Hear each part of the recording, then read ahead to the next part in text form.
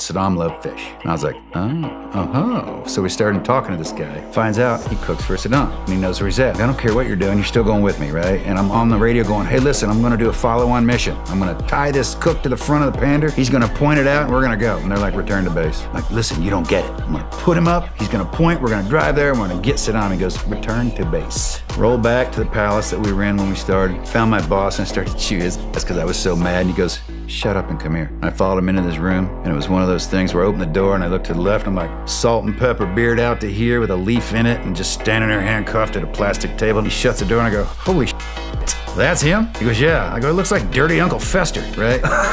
he, he apparently spoke a little English and knew who Fester was, or, or just didn't like me, and spit on me. Yeah. Saddam spit on yeah. you. I imagined myself knocking him out. But I looked at him, I said, it's okay. You'll be dead soon.